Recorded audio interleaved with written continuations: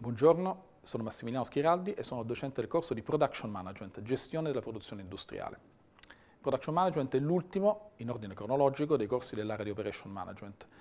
È quello che in qualche maniera sintetizza, armonizza e completa la preparazione di questa disciplina acquisita anche dagli esami precedenti. Per questo motivo analizza l'intero processo di creazione del valore, end-to-end, -end, dalle materie prime fino ai prodotti finiti nelle mani del cliente. Non possiamo più limitarci ad analizzare quello che succede nella fabbrica, ma dobbiamo per forza sconfinare a monte, andando a guardare la dinamica di approvvigionamento dei fornitori, e a valle, andando a guardare le strategie di distribuzione, fino ad arrivare all'operazione dei punti vendita. Questo per quanto riguarda l'ambito.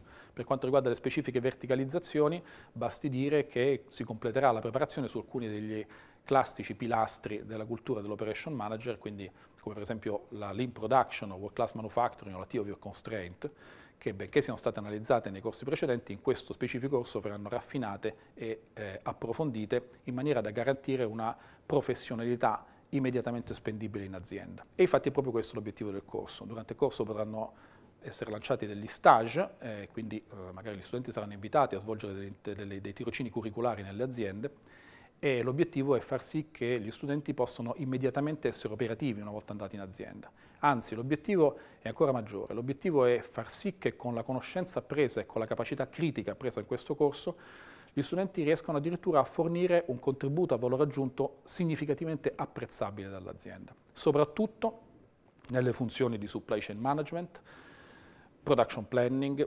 inventory management, stock control, inbound outbound logistics, retail e distribution. Quindi se il vostro obiettivo è andare a lavorare in un'azienda industriale in uno di questi settori, indipendentemente dal settore eh, industriale specifico, quindi eh, nell'alimentare così come nella difesa, così come nel luxury o nei bei largo consumo, oppure se volete diventare consulenti strategici, eh, questo è un corso che non potete perdere.